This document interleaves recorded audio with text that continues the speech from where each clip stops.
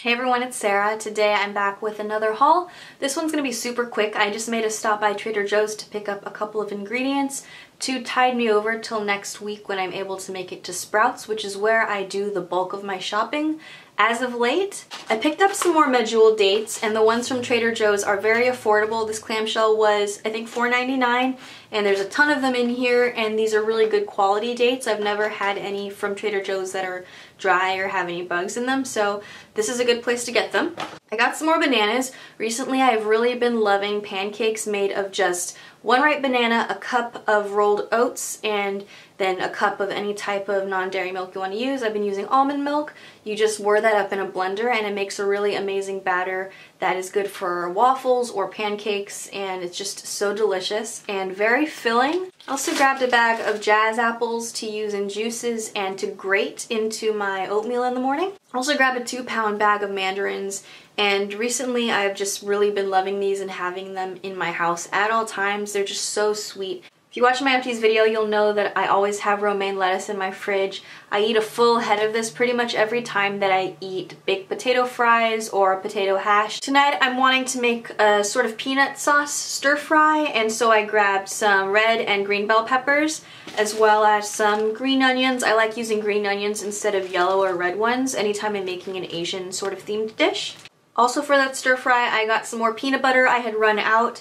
This is just crunchy unsalted, and the only ingredient in here are dry roasted peanuts, which I like to see. I thought I would add some tofu to this stir fry. I don't do a lot of tofu, honestly. I prefer tempeh texturally and flavor-wise, but I was curious to try the sprouted variety of tofu. Whenever I cook tofu, I really like the outsides to be nice and firm and golden brown, so either I will bake them at a sort of high temperature on a non-stick baking mat, or I will put a little bit of spray oil in a non-stick pan and just make sure all of the outsides are brown. I think that just improves the texture a lot. I don't really like the mushiness of tofu as is. I was really curious to try these Murasaki sweet potatoes. These are the kind that have the purple skin and they have white flesh inside. They're supposed to be similar to sweet potatoes, but they have um, more chestnutty flavor, slightly fluffy texture, and it's good for sweet or savory dishes. I actually read about these on the Potato Cleanse Facebook group,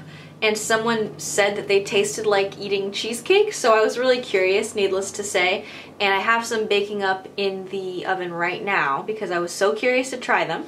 I just grabbed my little Murasaki sweet potato fries out of the oven and I actually overdid them a little bit because I got distracted talking to you guys, but I'm still to try them. Those are actually really good and I am not the hugest fan of sweet potatoes to begin with. I would definitely repurchase those. I think they're only going to be available for a limited amount of time at Trader Joe's, so I would recommend them. They definitely are super fluffy on the inside and I definitely do detect that like chestnutty sort of flavor. Oh, okay, now my mouth won't stop watering. Okay, moving on. I've been wanting to experiment with making my own homemade granola, so I picked up a few ingredients. I picked up some raw slivered almonds, as well as some raw pumpkin seeds. I also picked up some golden raisins just to mix it up. I've never had the golden variety. And I picked up a huge bag of rolled oats for the granola. I'm going to try to make a version that's much healthier than the kind you would find at the store, which typically has a lot of sugar and added oil. The last three things I picked up are totally random. I grabbed this 21 seasoning salute. The spices at Trader Joe's are so, so affordable. I believe that they're all around $2. And this is just a mixture of 21 spices. The, the primary ones are onion, black pepper, celery seed, and lots of other herbs. So I really like having pre-blended spices like this. Otherwise, for every single recipe that I make, I'm pretty much always pulling out onion and garlic and basil. So it's just nice to have them mixed up. Also grabbed a can of spray coconut oil. I like to have this on hand for baking, for making pancakes, and also to oil my cutting board. And I prefer to use coconut oil because it's stable at higher temperatures and also I just like the flavor the best. It just has a really buttery, mild flavor that I enjoy. Very last, I got another carton of this soy creamer that I showed in my empties video.